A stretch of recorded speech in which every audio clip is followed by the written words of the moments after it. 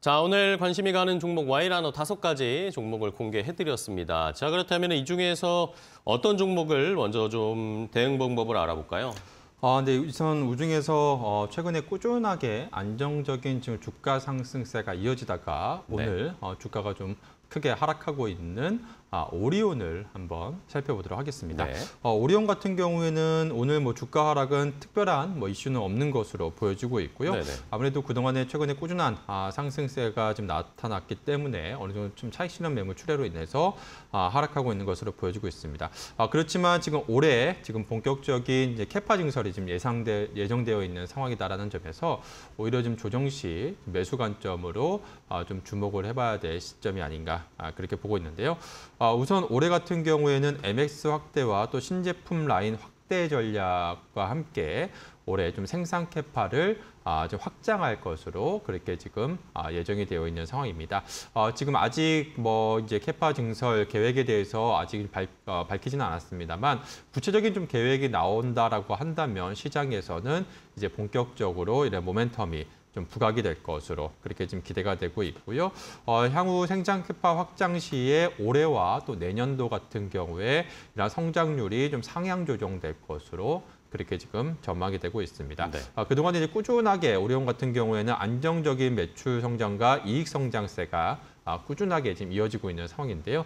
여기에 추가적인 증설까지 또 이루어진다라고 한다면 어, 향후 한 단계 더 좀 레벨업 될 수 있는 기업 가치가 한 단계 더 성장할 수 있다는 점에서 어, 향후 이제 캐파 아, 증설 계획을 좀 면밀하게 좀 봐야 되지 않을까 아, 그렇게 보여주고 있습니다. 아, 또한 그동안에 이제 오리온 같은 경우에는 어, 계속해서 지금 안정적인 그러한 이익률을 좀 거두면서 어, 글로벌 시장에서 꾸준한 지금 성장세를 계속해서 좀 기록을 했었는데요.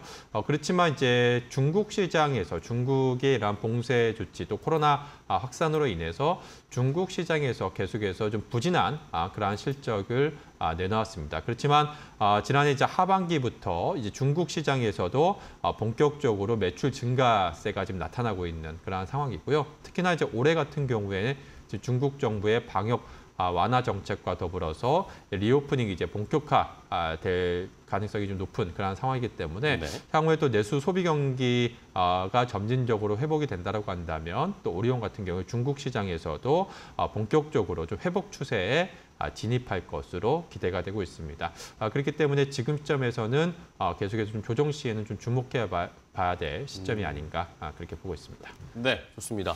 자, 오리온 일단은 조금씩 조정받았을 때 모아가는 전략을 세워주셨는데 그렇다면은 오늘 가격 전략을 어떻게 세워볼까요, 오리온? 아, 네. 오리온 같은 경우에는 지금 가격대 한 12만 원 정도 선에서는 충분히 좀 매수 관점으로 좀 보시면 좋지 않을까 싶습니다. 네. 최근 주가가 올해 가장 저점 라인이 한 12만 원, 지금 현재 정도 수준이기 때문에 지금 한 12만 원대 또 10만 원대 후반에서는 어느 정도 주가가 좀 저점을 형성할 가능성이 좀 높지 않을까 아, 그렇게 보여주고 있고요.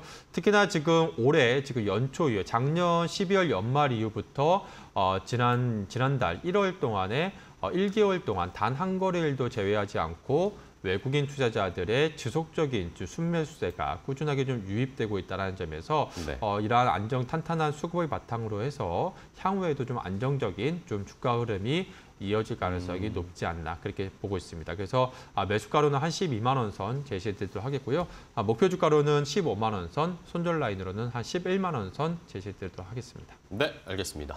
자, 오리온 첫 번째 종목으로 선정을 해봤습니다. 와이라노 종목 오히려 조금씩 조정이 나왔을 때 매수를 하면서 또 추가적인 상승을 기대해보자라는 의견을 주셨습니다. 첫 번째 와이라노 종목 확인해봤고요.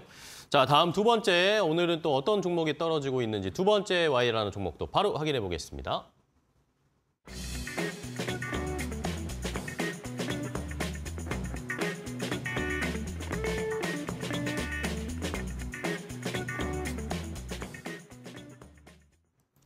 자, 두 번째 와이라노 종목은 바로 삼성중공업입니다. 삼성중공업은 어제 또 좋은 이야기들이 좀 나오면서 주가가 가는 듯 싶었는데 오늘은 또 쉬어가는 양상이네요.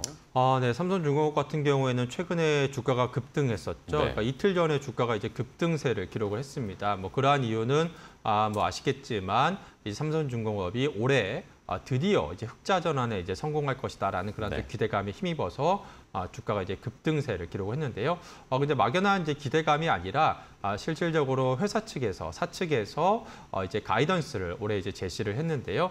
올해 이제 가이던스가 매출이 이제 8조 원 수준 그리고 영업이익이 한 2천억 정도 어, 수준으로 지금 뭐 지난 이제 8년 동안 적자 행진을 뒤로하고 이제 9년여 만에 이제 흑자 전환에 어, 흑자 전환 가이던스를 제시했다라는 점에서 상당히 지금 큰 의미가 있다. 라고 볼 수가 있겠습니다. 이로 인해서 시장에서도 어 이제 주가가 이제 급등을 하면서 좀 이제 화답을 하는 그러한 좀 모습이 나타났고요. 특히나 지금 이제 1분기부터 그러니까 올해 연간 기준으로도 흑자 흑자지만 1분기부터 이제 본격적으로 흑자 전환 아, 그러한 아, 네. 가능성을 좀 제시를 하면서 아, 관련해서 지금 그동안에 이제 삼성중공업 같은 경우에는 계속해서 이러한 재무 구조 또 자본 조달에 대한 그러한 추가 자금 조달에 대한 우려감이 아, 좀 주가의 발목을 잡고 있었는데 아, 1분기부터 흑자 전환에 성공을 한다라고 한다면 그동안에 이제 아, 우려감이었던 이제 자본 조달 우려감도 어느 정도 해소될 수 있을 것이다라는 그런 기대감도 역시나 주가에 반영이 되고 있는 상황이다. 아, 라고 볼 수가 있겠습니다. 아, 그래서 지금 현재 삼성중공업 같은 경우에는 LNG선과 더불어서 대형 컨테이너선 생산 비중이 지금 뭐 80% 수준으로 지속적으로 지금 확대되고 있는 그러한 상황이기 때문에 당분간 이런 매출 증가세가 이어질 것으로 그렇게 지금 기대가 되고 있고요. 네. 어, 사실 이러한 어, 중후장대, 이러한 기, 어, 조선업 같은 이러한 수주 산업 같은 경우에는 어, 한번 이제 turnaround 하게 되면 이제 좀 경기가 이제 어, 좀큰 흐름으로 길게 좀 가는 그런 경향이 있기 때문에 그동안 약 8년여 동안에 이러한 적자가 좀 이어졌다라는 점, 이런 적자를 끊고 올해 이제 본격적으로 지금 턴어라운드를 시작하고 있다라는 점에 상당히 좀 큰 의미를 좀 두어야 되지 않을까 싶고요.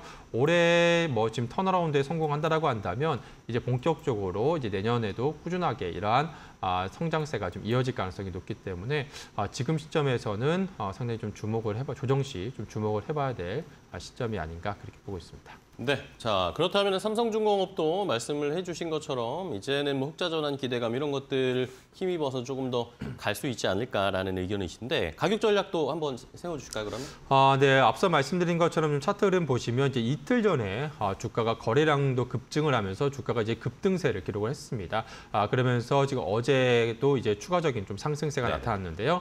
말씀드린 것처럼 아, 이제 이틀 전에 삼성중공업 같은 경우에는 이제 올해 흑자 전환 그런 가이던스를 제시를 하면서 시장에서 이러한 아, 매수세가 강하게 좀 유입이 됐다라고 보시면 될 것 같습니다. 그래서 어, 지금 현재 시점에서는 한 매수가로 한 5,700원 정도 수준, 그러니까 이틀 전 어, 주가 이제 상승 한 시점인 한 고점 부근이라고 할 수 있는 네. 한 5,700원 정도 수준에서는 충분히 좀 매수 관점으로 보시면 좋을 것 같고요.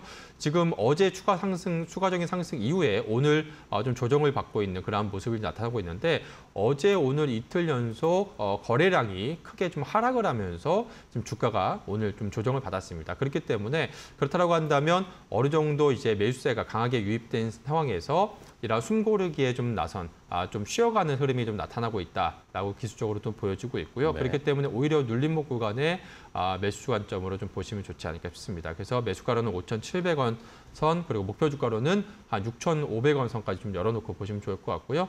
마지막으로 손절 라인으로는 지금 주가 상승하기 이전 가격, 즉 이제 이틀 전 어, 주가 상승하기 이전 가격이라 할 수 있나 5,400원 정도 어, 선이 무너지지 않는 선에서 아, 손절 라인은 제시해드리도록 하겠습니다. 네, 알겠습니다. 삼성중공업도 한번 기대를 해보겠습니다. 흑자 전환에 따라서 주가도 함께 올라갈 수 있을지 실적과 주가 다 체크를 해보셔야 되겠습니다. 자, 이제 마지막 세 번째 와이라너 종목도 확인해 보겠습니다. 함께 보시죠.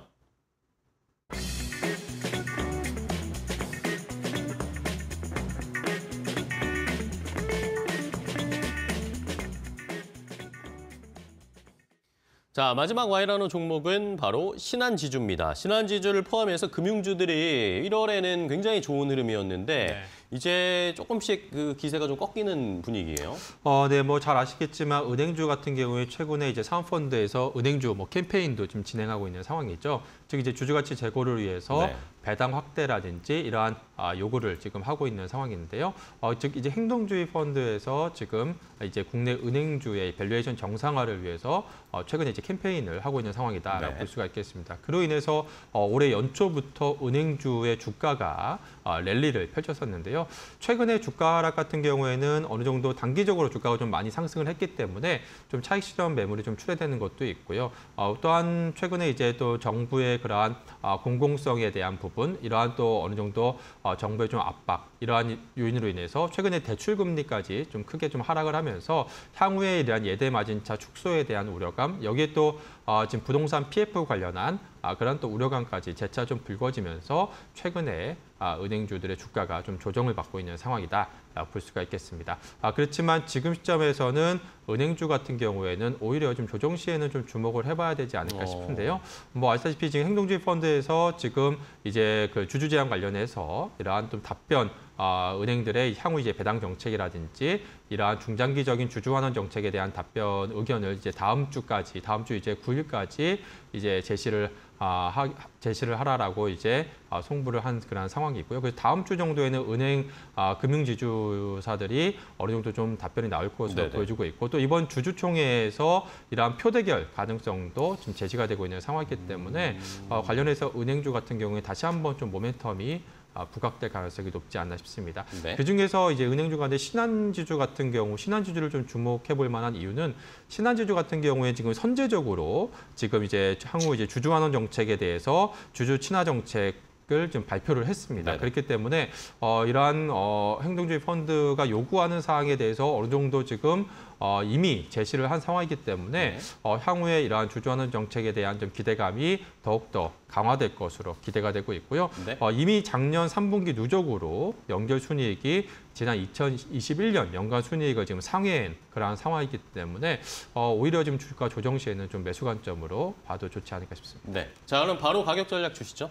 네, 지금 현재 한 41,600원 선에서 거래되고 있는 상황인데 오늘 한 저점 라인은 한 41,000원 정도 선에서는 충분히 좀 매수 관점으로 좀 보시면 좋을 것 같습니다. 보시다시피 어, 올해 연초에 3만 원대 중반 가격에서 지금 네. 4만 원대 중반 가격 주가가 이제 급격하게 상승을 했기 때문에 좀 가격적인 측면에서 좀 조정이 나온 것으로 보여지고 있고요. 그래서 아, 매수가로는 한 4만 1,000원 선, 목표 주가로는 5만 원, 그 손절 라인으로는 한 3만 8,000원 선 제시해드리도록 하겠습니다. 네, 알겠습니다. 오늘 정혜원 과장과 함께 하락하는 종목들 진단해봤습니다. 오늘 말씀 감사하고 다음 주에 또 뵙겠습니다. 고생하셨습니다. 네, 고맙습니다. 고맙습니다.